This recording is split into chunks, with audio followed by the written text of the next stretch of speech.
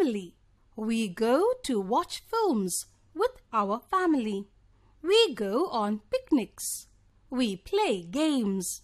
We celebrate festivals.